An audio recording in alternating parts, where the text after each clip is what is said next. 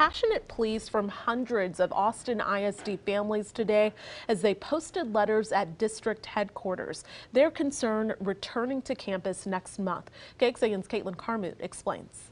They could give a flying you know what about our health and our safety. The hundreds of Education Austin supporters are calling for AISD to extend their October 5th start to in-person learning even further. Most excited people on this planet to return to school will be the people in this caravan once the public health data say it is safe.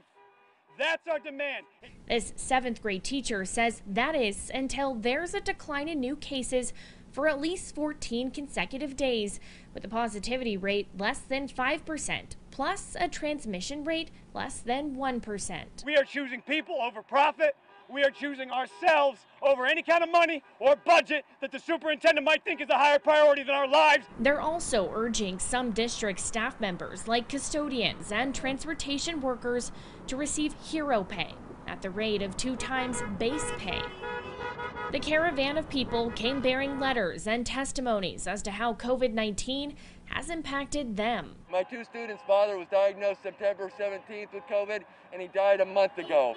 This was horrific. It tore the family apart. I have two children, one at the elementary level and one at the middle school level. Martha Small Dies helped organize AISD Kids First. The group garnered hundreds of followers almost instantly.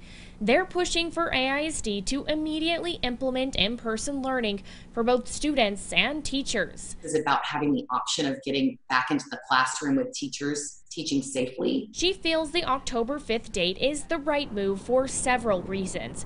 Getting essential workers back to working and maintaining students' mental health. I have no doubt that AISD, in their preparing for this school year, um, is prepared for that. That's Kaitlyn Karmout, KXAN News. Well, the school district says it will move ahead with its plan despite mounting opposition. Now, this week it said that 780 employees have requested medical waivers to allow them to continue working from home during the COVID 19 pandemic.